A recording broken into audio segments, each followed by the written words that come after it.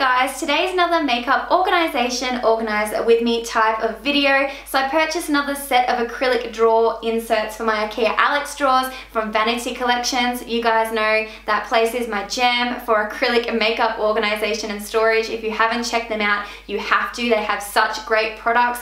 But I figured I just would film a super casual sort of organization video. I'm literally in my PJs with no makeup on because that is how I like to clean and how I like to organize. You need to be comfortable because you just need to get in the zone. You need to not worry about anything restrictive such as false lashes and tight jeans. So you just want to be comfy. So if you guys are interested in getting organized with me, then just simply keep on watching and I'll get right on into it. So I just want to do a quick overview of my beauty room setup because I know you guys will have a bunch of questions. I have my IKEA Alex 9 drawers to the left. This is a Malm dressing table and the mirror is also from IKEA. The ghost chair is from Target and I have a set of IKEA Alex 5 drawers and the bookshelf is from Kmart. Then I have some fairy lights that are on the wall which you may not be able to see very well because of the exposure but they are just off eBay. If you just search curtain lights you'll be able to find those.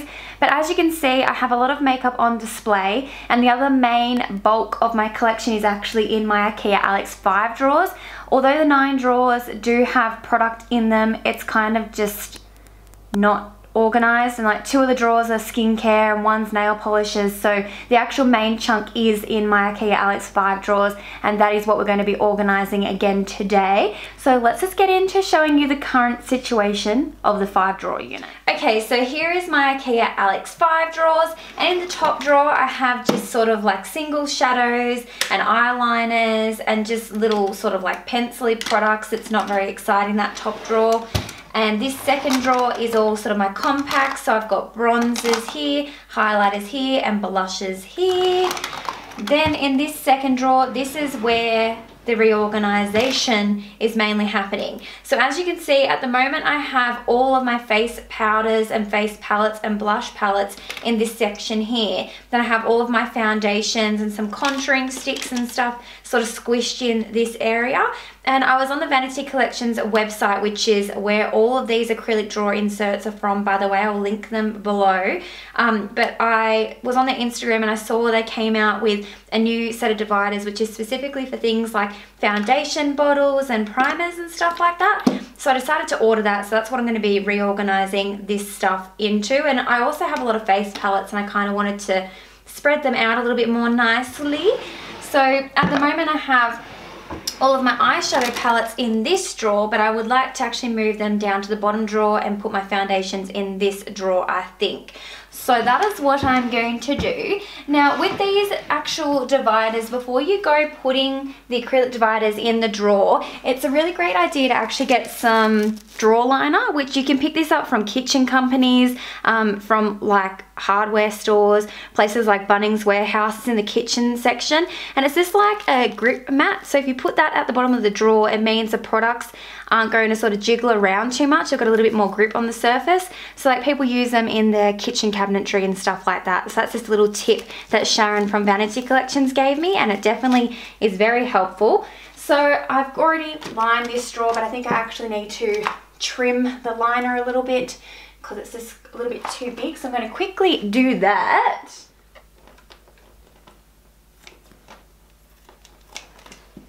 Super easy to cut to, just like your normal kitchen scissors will do the trick. Alright, that's much better. So I'm going to go ahead and just take out all my eyeshadow palettes out of here and move this divider into the bottom drawer.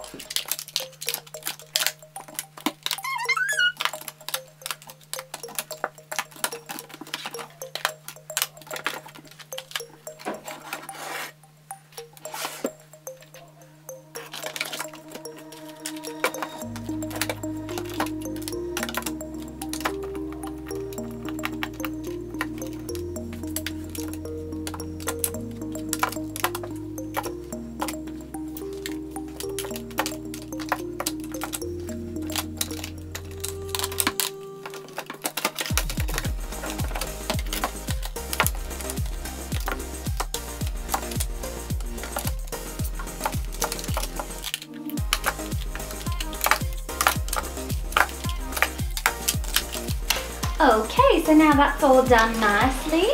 time for foundation. Actually, I need to vacuum this drawer.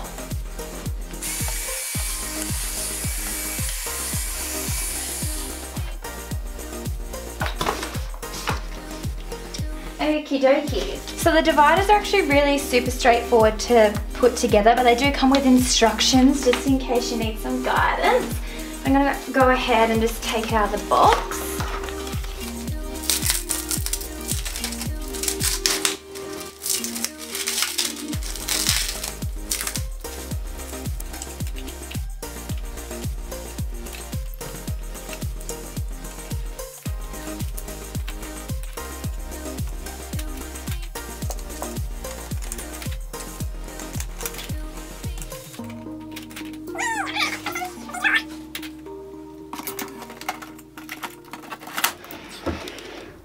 Okay, so that's what the dividers look like and now we're just going to start reorganizing this mess and pop it into this one.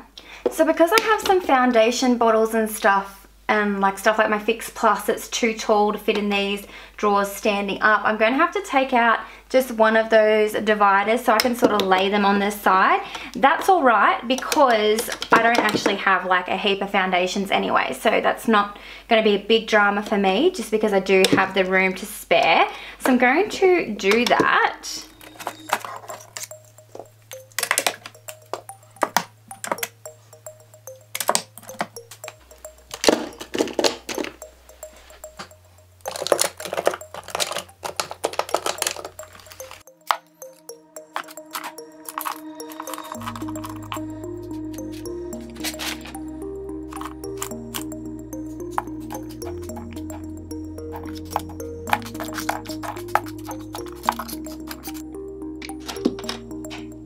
Oh yeah, see moving the divider makes that great for cushion foundation too.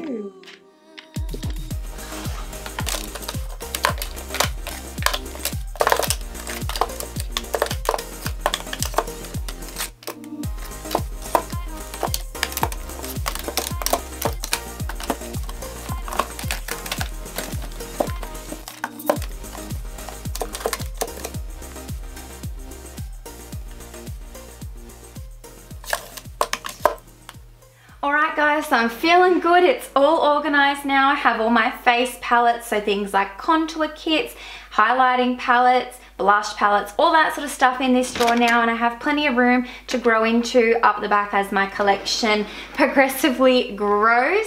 And then now I have all of my foundations, concealers and primers and everything all laid out really nicely. So I feel like it's super easy to sort of pick and choose what I want now because it's not all sort of shoved in amongst each other. It's all separated nicely. So I'm happy with how that has turned out and yeah, just I love makeup organization. I don't know about you guys, but there's just something about it that has me feeling all sorts of ways. So anyway, I hope you guys enjoyed today's video. If you did, please do give me a big thumbs up. Leave me some comments below because I love having a chat to you guys. And of course, subscribe if you haven't already and I'll be talking to you really soon.